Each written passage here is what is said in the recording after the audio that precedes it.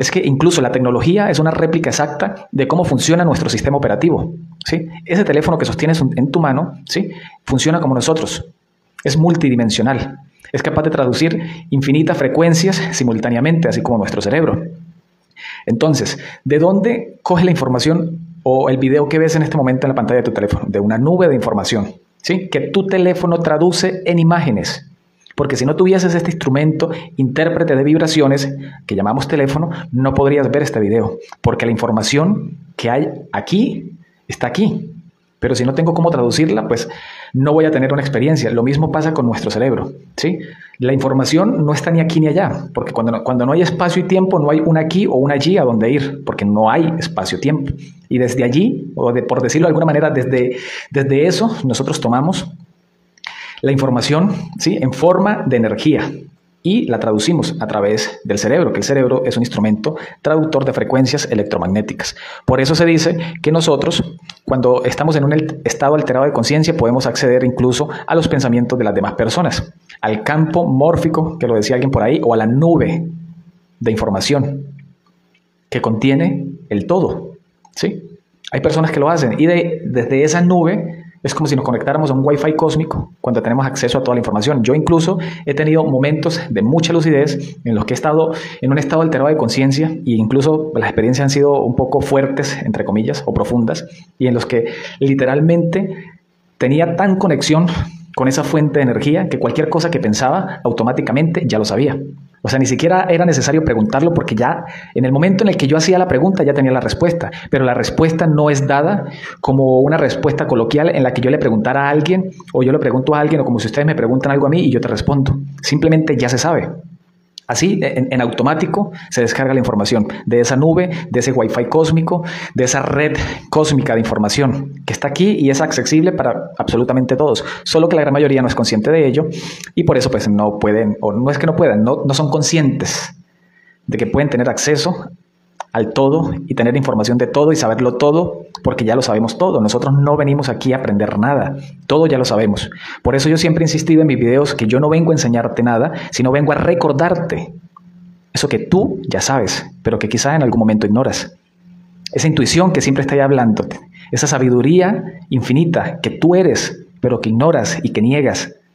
Y no es tu culpa porque nunca te enseñaron a que esa intuición, esa vocecita que está ahí siempre diciéndote qué hacer, sabe mejor que tú racionalmente por dónde es el camino. Porque desde cuando operamos desde el ser no hay un espacio ni hay un tiempo. Todo está ocurriendo simultáneamente y es como si pudiésemos mirar desde arriba nuestro futuro y nuestro pasado, entre comillas, porque no hay ni siquiera pasado y futuro, sino un continuo y un eterno ahora.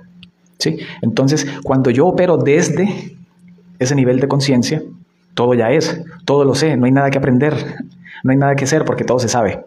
¿sí? Lo que pasa es que desde ese saber todo, ser todo, tenerlo todo y estar en todo y todos, ¿sí? elegimos a voluntad experimentar la objetividad y elegimos entrar a través de este instrumento vibratorio llamado cuerpo que presenta limitaciones ¿sí? Pero es justamente para eso, para poder tener una experiencia individual, porque cuando yo soy todo, lo sé todo, pues no hay algo individual por saber o por experimentar, porque si lo soy todo, ¿cuál sería el sentido entonces de saber algo si ya lo sé todo?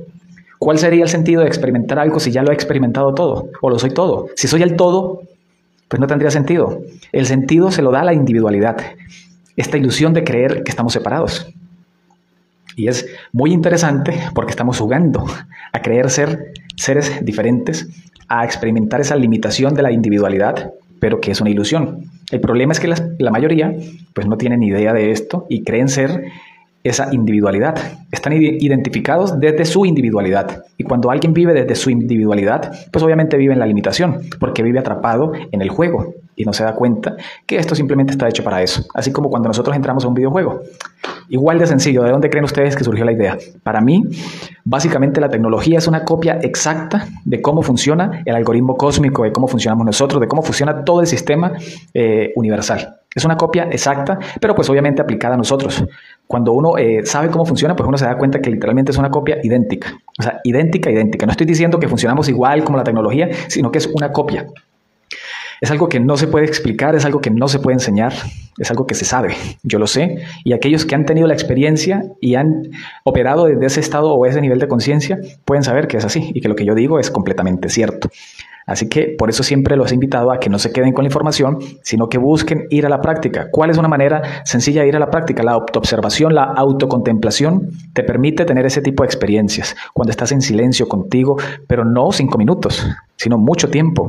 Cuando te autocontemplas por mucho tiempo, cuando te conviertes en el observador de ti mismo, comienzan a revelar, se, se te comienzan a revelar un montón de cosas que dabas por sentado y que ignorabas de ti mismo, que siempre han estado ahí, pero que tú, por tener tu atención afuera todo el tiempo, no te dabas cuenta. Porque incluso esto que tienes aquí en tu mano en este momento, ese teléfono, lo único que hace es distraerte, mantener tu atención afuera, tu enfoque afuera, tu energía afuera, y por eso se dispersa. ¿Sí? Entonces es difícil, mientras estoy viendo afuera, poder ser testigo y darme cuenta de toda esa cantidad de procesos inconscientes que ocurren dentro, y cuando digo dentro, no estoy diciendo que sea dentro, porque ni siquiera es dentro, porque no hay un dentro donde estar. Vuelvo y te digo, cuando yo opero desde el ser, desde la conciencia, desde la base, desde la fuente, no hay un dentro ni hay un afuera, porque no hay un espacio ni hay un tiempo. Y los invito de verdad a que se observen, a que se, a que se conozcan realmente, no a que simplemente estén buscando información afuera. Porque a veces veo muchísimo que las personas quieren encontrar la respuesta afuera, el camino afuera, la solución afuera, cuando nada está afuera. Yo soy la raíz, yo soy la verdad, yo soy la vida del mundo. Desde mí se proyecta, desde mí y desde cada uno de nosotros y colectivamente formamos esa red que llamamos realidad.